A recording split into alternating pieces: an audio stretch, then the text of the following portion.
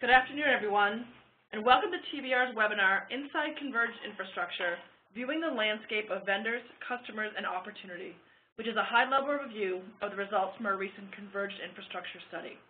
I'm Allison Crawford, and I will be your host for today's session. In the next 45 minutes, Senior Analyst Christian Perry will delve into some of the results found in this groundbreaking study, positioning these results to show how they will influence the market in the coming quarters followed by Q&A of these trends and how they will affect you. Before Christian gets started, I'd like to cover some housekeeping items. First, we'll be recording today's session and posting it on our YouTube site, TBRI channel. We encourage you to visit our channel to watch this presentation or any of the others we've posted. Second, we'd like to hear your opinions and thoughts on materials we're presenting. Please send any questions or comments to the Q&A or chat function. Christian will address them at the end of the presentation. Or if you'd like to set up a client inquiry for more detailed discussion, please reach out directly to Christian at the end of the presentation to set up that conversation. Third, we'll send out the slides to everyone registered for today's webcast within 24 hours of the conclusion of the webinar. You can also find the slides, as well as other thought leadership pieces, webinar decks, and commentaries on SlideShare at www.slideshare.net backslash TBR underscore market underscore insight. Now let me introduce Christian Perry, Senior Analyst on the computing team here at TBR.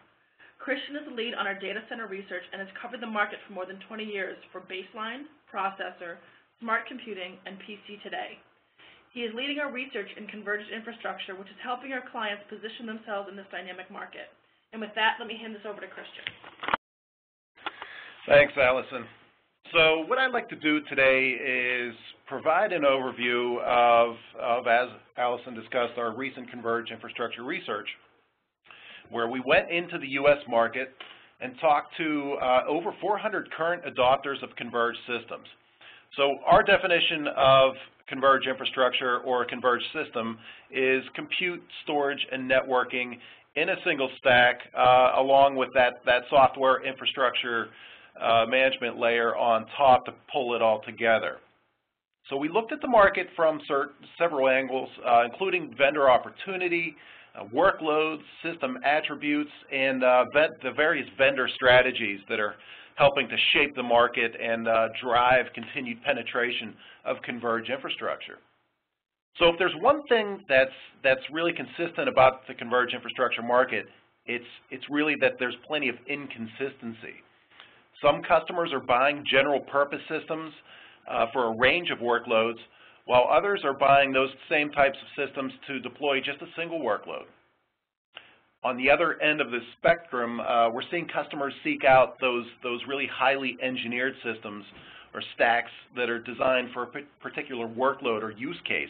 And even when they, uh, they adopt those systems, we're seeing more than one workload being uh, placed on those systems as well. So there's a lot of variety out there in the market uh, which, which essentially equates to a lot of opportunity on the vendor side. And vendors, for that matter, are taking plenty of different approaches as well to converge infrastructure. For example, uh, we see the Dells and the VCEs coming to market with uh, portfolios full of more general purpose systems, or at least systems that are marketed as, as being able to handle a range of workloads. Uh, and on the other side, we see Oracle and to a certain extent HP and IBM uh, with systems that are designed for uh, specific use cases. We do feel that moving forward, the blended approach will be the best bet to uh, continued success in the converged market, where a portfolio will hold systems that can handle a range of workloads, as well as those that can uh, target very specific use cases, such as private cloud, or uh, online transaction processing or VDI or even uh, big data analytics. Bottom line, there's plenty of opportunity in the market uh, and and we, we do uh, project the, the total addressable market in the U.S.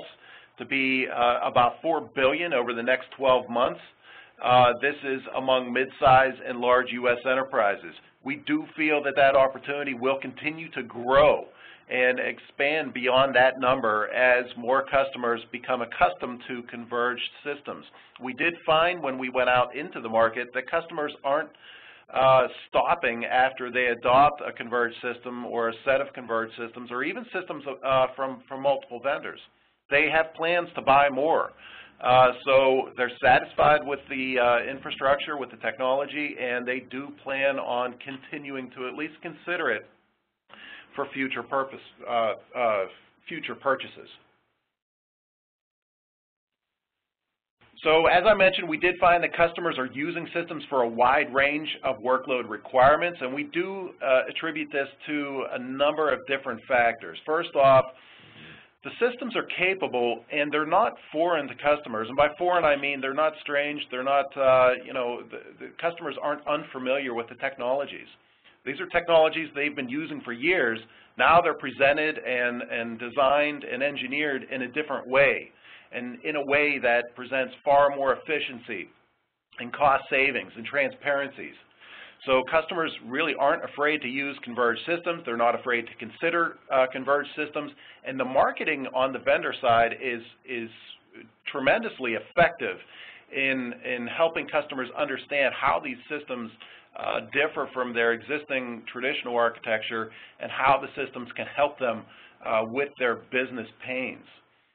Uh, and, and customers aren't necessarily happy with the infrastructure that they're currently using uh, there's a lot of complexity. There's a there's a there's a lot of, uh, of difficulty using using technology to handle a new workload requirement when the technology is uh, is is is expanded you know greatly throughout a data center you know uh, with a scale out approach. So trying to rein in all of that complexity to handle something new such as uh, big data analytics uh, can be a little difficult in terms of management. Uh, so customers do say that converged infrastructure and converged systems help them to uh, manage these new requirements. Customers, we found, also don't necessarily deploy only the workload that influenced the purchase, and I'll talk about that a little bit more on the coming slides. This is an interesting finding. We did feel that uh, this is what we were going to find when we went into the market, um, and this is what is happening. And, I, and, again, I'll touch on that a bit more on the coming slides.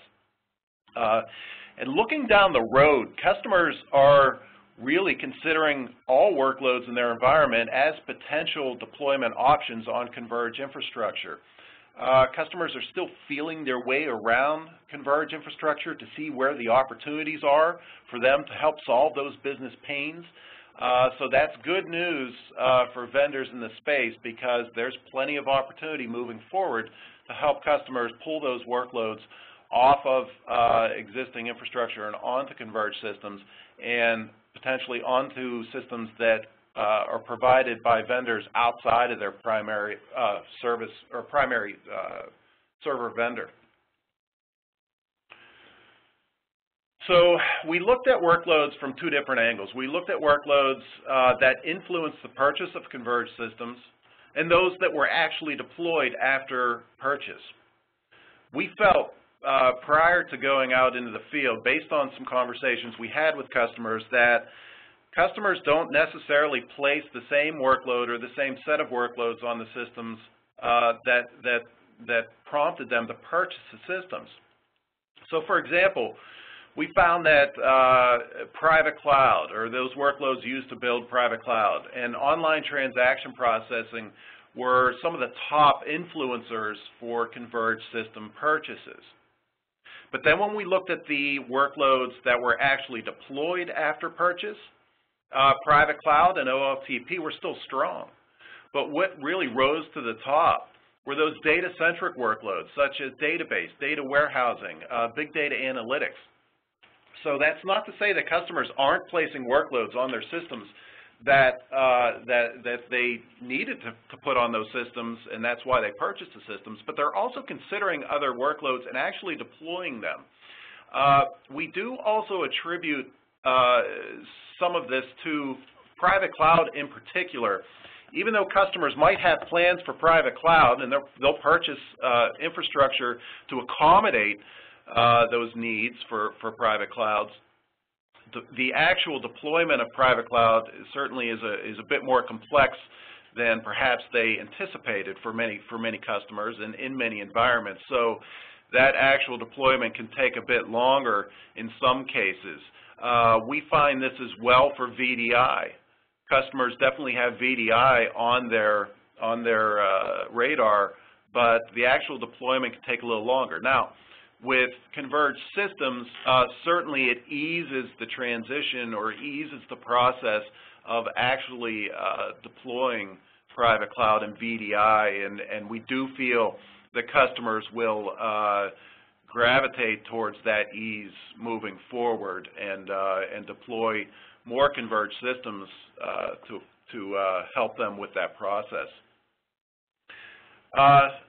So we, so bottom line, uh, vendors really need to understand their customer requirements prior to purchase uh, because the, even though customers may be interested in a converged system or a set of systems to handle, say, one particular workload, there may be other workloads there that are on the radar and may be able to uh, may be able to uh, be deployed on other systems or even that system.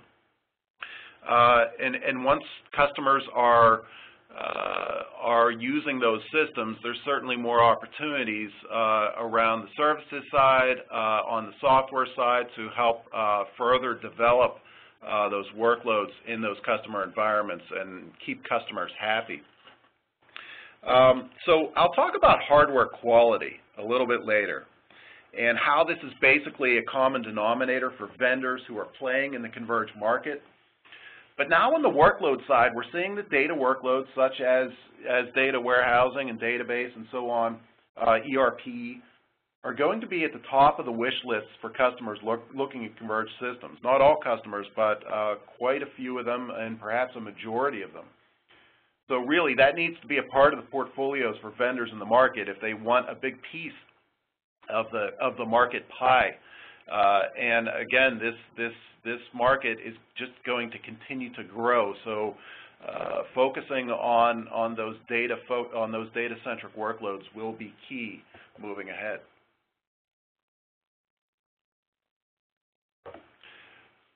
So quality and reliability. So we, we looked at uh, a, a wide range of system attributes when we went into the market and talked to customers. And we do this in our customer satisfaction research as well. So looking at things like quality, reliability, uh, ongoing quality, um, improved reliability, so that's reliability that's improved over whatever they're using, whatever infrastructure or architectures they're using at the moment. Uh, things like support, uh, system features, open architectures, CapEx, OpEx savings we found that quality and reliability is the most critical factor to customers who are considering converged infrastructure purchases. Uh, this isn't much different from what we found or what we always find on the traditional x86 server side when we ask customers what's important to their purchases. Quality and reliability, definitely key. So this isn't a big surprise, and it's not a big surprise considering how uh, expensive some of these systems are, or, or most of them, compared to traditional x86 servers. Uh, the customers want to know, certainly, that their systems are going to be ready and available uh, when they need them, and of course that's uh, all of the time. Uh, so moving forward, uh, customers or systems must be of high quality and reliability. Uh, but those are those factors are what we consider to be the bottom line requirements for uh, participating in the converged market. Those are the table stakes. If you don't have systems that uh, show high levels of quality and reliability, uh, you're going to have issues uh, competing in the market. but if those table stakes are down, if you have them, if your systems are, you know, if, if customers are happy with the quality, then it's, it's, uh, we advise focusing on things like support, product design and features, and simplified deployment. Uh, these are the things that can help vendors differentiate and, uh, and uh, gain an advantage over, uh, over other vendors in the market. Uh, overall, we did find that customers are uh, very satisfied with their systems, uh, and these are systems across uh, all vendors that we looked at, and we we looked at a lot of vendors. We looked at every potential converged system out there in the market, uh, and the good news is customers are indeed happy. Um, so we, I talked about those table stakes, uh, and, and regardless of the workloads that customers are using, those table stakes need to be there. But customers are, are really going to expect those table stakes. They're going to expect high levels of quality and reliability. Uh, so once you move to things like simplified deployment um, or better support, then you get into the differentiation. Um, note also the vendors with full solutions. That is, vendors providing the compute, storage, and networking, and the software, and the support, all within, uh, under one umbrella, might have an advantage moving forward over vendors that partner for certain pieces of the converged stack, uh, at least in terms of support. Uh, part of the beauty of converged systems, of course, is that customers have, uh, so to speak, one throat to choke. That might not always be the case with partner-led systems moving forward, especially if uh, potential issues arise with partnerships uh, that, that, help to form a converged system or a converged portfolio. So I did talk about hardware quality and reliability, but let's take a closer look now. Uh, we found that the larger the enterprise, the more important those factors are to the purchase decision. So if we look to the left of this graph uh, with SMBs, we found that 61.5% of, of customers with uh, up to 1,000 employees feel that quality and reliability of the hardware is critically important. Now, if you move up to uh, uh those customers with up to 5,000 employees, that bumps up to 78.4%. We do find that customers, larger customers, are making larger purchases. So there's going to be uh, a stronger eye, a stronger focus on quality and reliability. We did find that IT decision makers and LOB executives both value these attributes, but the IT decision makers consider it a bit more critical than LOB execs. In general, uh, we did find slight differences between IT decision makers and LOB executives when we examined uh, various factors in our research, such as workloads and buying plans. And moving forward, vendors, we think, will find it critical to engage uh, with both sides of the house, uh, both sides of the enterprise, and find the right match for hardware and software because uh, so when we went into the market, we didn't want to look at just IT decision makers. We wanted to look at those LOB executives because we do find that LOB executives are becoming much, uh, much more involved in the purchase decision, especially with converged infrastructure. And we attribute that to uh, the real uh, heavily defined uh, uh, interests around workloads uh, with enterprises when it comes to converged infrastructure. And so those LOB execs, in many cases, know or understand their uh, workload requirements. So they have to be part of the picture when going out into the market and uh, both with marketing and sales efforts.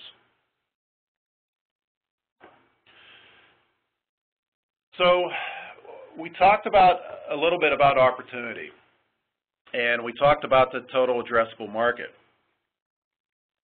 Budgets are very strong for uh, that that's allocated budgets are strong for converged infrastructure moving forward. We found that the average customer budget, and this is among U.S. midsize and large enterprises, is nearly $900,000 uh, over the next 12 months.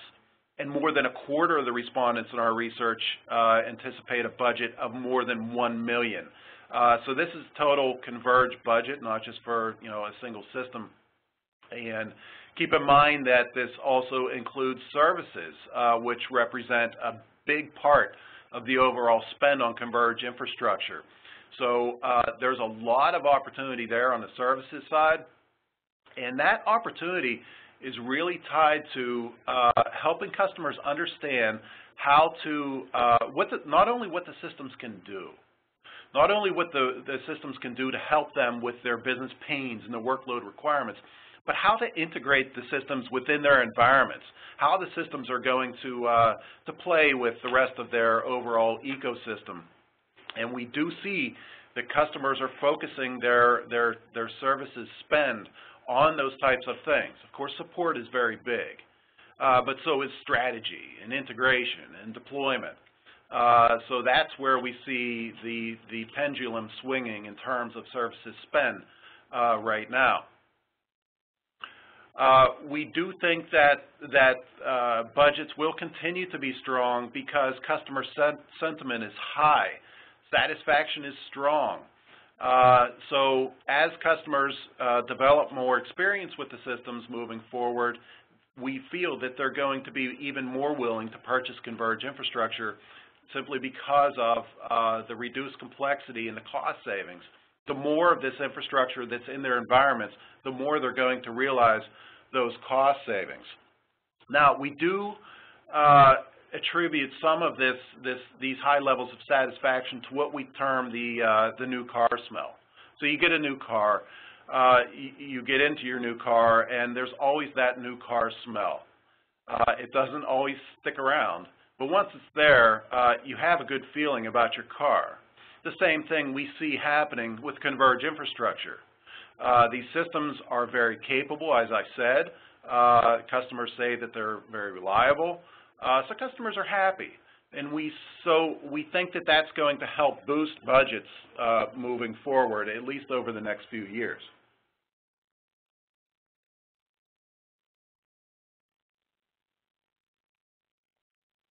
So in general, the customers we spoke with are, are, are happy with their converged systems, and that's reflected here.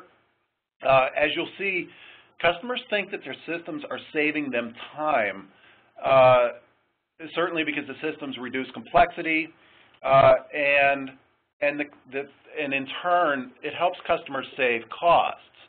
Uh, part of that, that reduced complexity is on the, the uh, deployment and integration side, uh, and that also impacts the bottom line as well. But that doesn't necessarily mean that everything is perfect. You see here on these slides, these are uh, all positive quotes. These are ver verbatim quotes from customers that we spoke with out in the market. But uh, not everything is perfect, and some customers we found indicated that the systems aren't as easily uh, deployed and configured as vendors might indicate or what the vendors promised uh, at the time of purchase or prior to purchase. So that shows to us that there's still room for improvement in terms of helping customers integrate the systems in their environments. But in general, there's a lot of positive energy happening in the Converge market. There aren't a lot of complaints that we encountered. Again, really the only major complaints we found were around uh, those the, the deployment and integration and configuration. Uh, but even in the big picture, uh, those were relatively minor compared to the overall set of feedback that we received around converged systems almost across the board, across the vendor board. So if there were are really three things to take away from today's webinar, it's that, uh, number one, customers really have converged systems on their radar. Customers in the market aren't just purchasing systems from their primary server vendor either. Uh, in many cases, that is indeed happening. Customers, and we, we find this with other technologies as well, customers will consider converged systems first from their primary server vendor, since, of course, uh, the servers are a piece of that converged stack. Uh, not necessarily the same servers, but uh, the same type of technology and approach. Uh, but customers are also uh, considering other vendors to fulfill those specific workload requirements that perhaps their primary server vendor isn't targeting with its, its converged systems. Um, and I did mention satisfaction is strong, so the opportunity in turn continues to be strong for vendors. Uh, number two, customers appear to be willing to use systems for purposes outside of for which outside of those for which they, they purchase the systems. So as I mentioned, this might be due to customer requirements changing between the time they purchased the system and the time they actually deployed them, but we think it's more because the systems are just plain capable of handling a wide range of workloads. And, and certainly the better software management on these systems is helping to ease customers' uh, transition over to these systems. That's, that's a, the, the software is a critical, critical piece of the overall uh, uh, converged landscape uh, and it's also a critical piece in terms of vendor differentiation. This, the hardware in these systems isn't tremendously different from what, what customers have encountered in the market for years, but it's that software layer, it's that software management that's really going to attract customers uh, in terms of helping to management, manage their environments. Uh, and, and, we see this with, with other parts of, of the data center as well. Things are easier to manage. Customers are going to consider new products and those that help them with their, their overall management. Uh, so, and finally, uh, differentiating in, in what's becoming a very crowded converged market depends on factors outside of hardware quality and reliability. Again, those are the attributes that customers are going to expect will be there for the systems. But it's really those things such as better support, more simplified deployment, uh, and, and such that are really going to have a, or make a difference for customers when they're considering a converged system purchase. So with that, uh, thank you for joining, and I'll turn it back over to Allison to begin the Q&A. Thanks, Christian, and thanks for those of you who sent through some questions. Christian, the first question we have is, you mentioned that services are a big part of the average spend on converged systems. Can you talk about which services are being purchased? Sure. So I did touch on this a little bit. I can go a little bit deeper here. So we found that uh, so we found that services purchased really are similar to those that are purchased with other uh, relatively new technologies. So in particular, these are things like support, deployment, strategy. We, with the customers that we, we talked with really need help. They need help determining not only which systems will best suit their needs, but how the systems will fit in their ecosystems, uh, how the systems will play with their other technologies. Here you have a concept that will replace essentially the same technologies existing in today's data centers, but it's all still formulated in a different way, a more efficient way. There's better management, better transparency. So helping customers understand the benefits around those things, uh, uh, we think really presents an opportunity for vendors to change the way customers think uh, about their IT. Um, did you see any difference in workload deployments between IT respondents and line of business executives? Sure. So there, there's not a lot of differentiation. Those, those data-focused workloads, uh, such as data warehousing and database, are strong across both groups. Uh, but there are some differences. So for example, uh, line of business execs have a slightly stronger focus on those sorts of business transformation workloads, such as VDI. But other than that, across the board, again, purchases, uh, the, the purchasers, both on the IT side and the business uh, side of the house, are deploying very similar workloads. Uh, whether it's, um, you know, again, whether it's IT or line of business, it's actually making the purchase. Uh, and, and it's those workloads that are influencing the purchase as well. Uh, very similar across IT and line of business. Thanks. Um, the next question we have is, do, do the services purchased differ according to company size? So, uh, for, so for the most part, we found that things like system integration, support, and consulting are important for companies of all sizes when it comes to converged infrastructure. Uh, but things like operations management. So when we looked at companies with 5,000 or more employees, uh, there's a different set of challenges there, and we did find that things such as operation man operations management uh, became more important uh, as you went upstream, up into those larger enterprises. Great. Uh, looks like we don't have any other questions, so I want to thank those of you who sent questions through, and thank you, Christian, uh, Christian for the presentation today. Um, as I mentioned, you can follow both Christian and TBR on Twitter at the handles listed here, and I've also shared the social media links for SlideShare and YouTube, and we encourage you to get involved in the conversations on both of those uh, URLs. Uh, before we sign off, we'd like to ask you to take a brief survey about today's webinar.